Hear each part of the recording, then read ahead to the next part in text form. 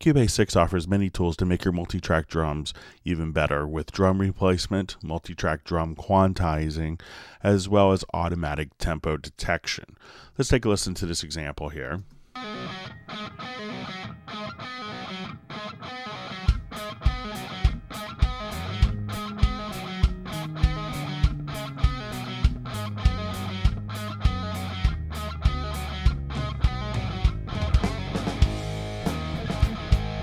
Let's say that I want to actually augment the sounds by replacing the drum sounds with sounds in MIDI.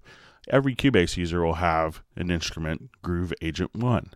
So we'll come over here, we'll look at Groove Agent 1, which includes many different fabulous drum kits. We'll take a look at our Maple kit. And as I want to come over here, we could just trigger different velocity levels. So uh, what I want to do is actually take the existing kick drum and snare drum performance and replace those in the MIDI domain. Now this is all done through our new use of hit points. So if I double click on a part in my sample editor, I can actually see my threshold here.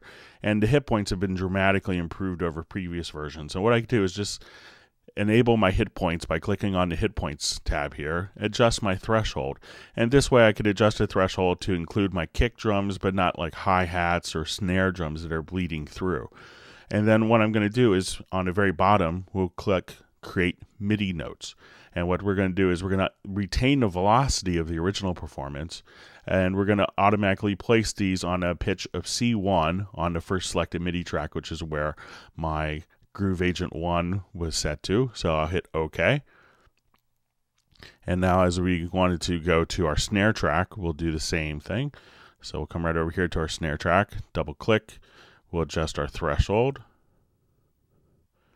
And as we adjust our threshold here, we'll not include the kick bleed through. And I will come over here and we'll place this on the same MIDI track on pitch of D1. Hit OK. So now if we want to actually take a look at our new newly created MIDI track, we come right here at the very bottom and I'll see both my kick and snare here. Now, if I wanted to combine these two parts, I just grab my glue gun and Alt, because there's two parts stacked on top of each other. And now when I want to go look at it, I can now see both my kick and my snare. So let's go ahead and take a listen to it. So we'll start off here. And we can see that we're now firing off the samples. And let's say I wanted to actually mute the original tracks have the MIDI tracks.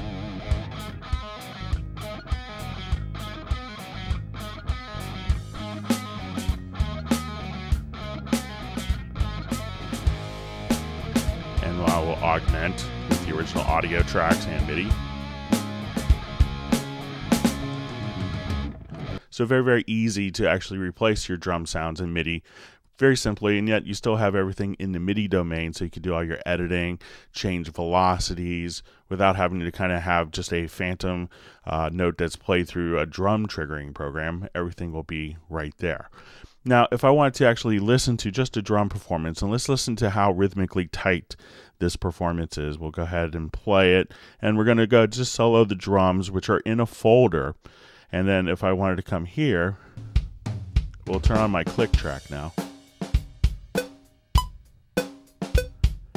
And we can see that there's some timing discrepancies and that the drums can be tighter to the click.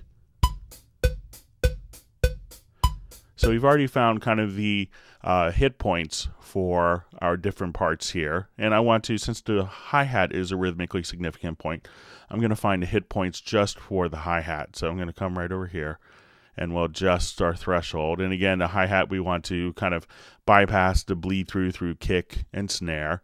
And now when I would come here, we're going to, since these are placed into a folder, we want to now come over here and apply group editing. Now, if they're not in a folder already, we've added a new function where you could select all of your drum tracks, right click, and choose move selected tracks to new folder. And this would automatically create a folder track for you and make the process even easier and faster than before. Now, if I come right here, we can have group editing. So when I enable this, and I could do this by hitting the letter K as well on my computer keyboard. Anytime that I make an edit, it's automatically applied to all of my tracks. So if I wanted to move, all the parts are automatically going to be moved together as a single entity. We will now come right over here into our quantize panel, and as I click right here, we can now see that we'll open up our multi-track drum quantize. Now the trick with doing multi-track drum quantizing is to make sure that all the tracks are phase aligned so that if I quantize and move a snare hit earlier that that snare hit in the overheads will also move and bleeding through in my hi-hat microphone. So what we've done is we've created slice rules and I could apply just by clicking here different priorities to what I actually want the slice to be. So if I want the slices to favor the kick and snare over my hi-hat so I can place a priority. And what it's done is it's applied the hit points across all the different tracks at this priority level that I've defined in my slice rules. So now what I want to do is actually click on slice and as I do that, it's now sliced across every single track across the entire performance based on my slice rules.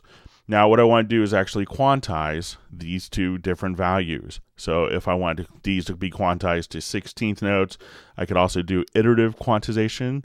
Uh, or if I wanted to apply different swings, I could apply different swing percentages as well.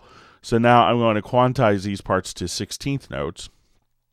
I just hit Q. Now, if we zoom in, we'll notice that there's going to be a number of little gaps where the events were moved to be on the beat. So what we've done is instead of having to worry about uh, that little gap between each of the tracks is we'll now crossfade all of those events. So now we'll kind of zoom out and let's listen to our drums with our click track. And now everything is perfectly quantized and you have a very, very tight drum performance.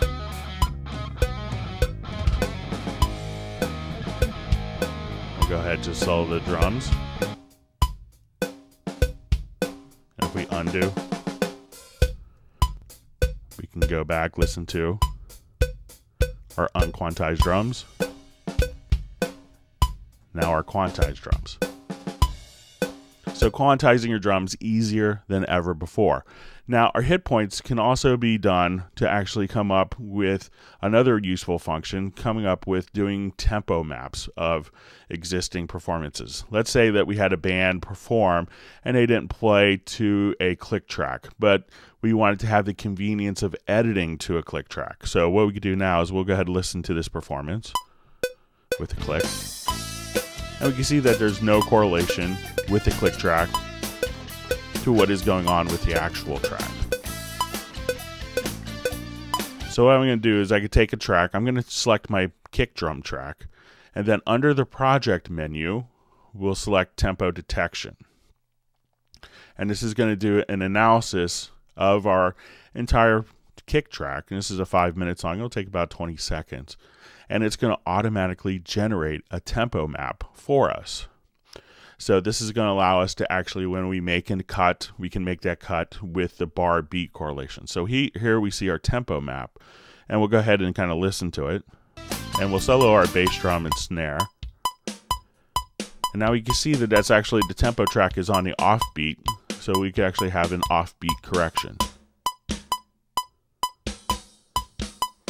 Now, as it's done this, the time signature here has been changed to 1 4 time because it doesn't know if we're in 4 4 or 3 4. And in this example, we actually have a pickup note. So we'll come right over here. So if I actually want uh, a measure to start at a particular time, I'm going to zoom in. And then on our signature track, I'm, I could come right over here and say right at this point in time, I want it to be switched to 4 4 time. So now I'll just draw in. We'll exit our tempo editing. I'll draw in right in this click a 4 4 meter. And now we have a perfect tempo map of our entire performance. And we can see our tempo fluctuating here in our transport bar. So as you can see, whether you want to do drum replacement, whether you want to quantize your multi-track drums, or make a tempo map of an existing performance, the new hit points and multi track drum handling inside of Cubase makes it easier than ever before.